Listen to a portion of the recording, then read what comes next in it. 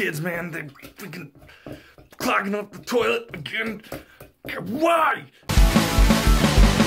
So there have been reports of an unidentified monster in the vicinity of the stupid house. it appears that the monster is made out of poop. It's poop! It's poop! It smells like chocolate! Truly a shitty situation.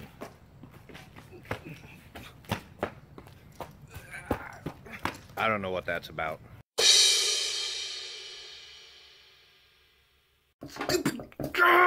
pisses me off.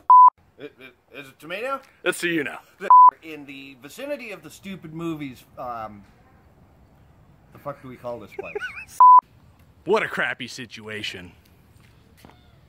Poop.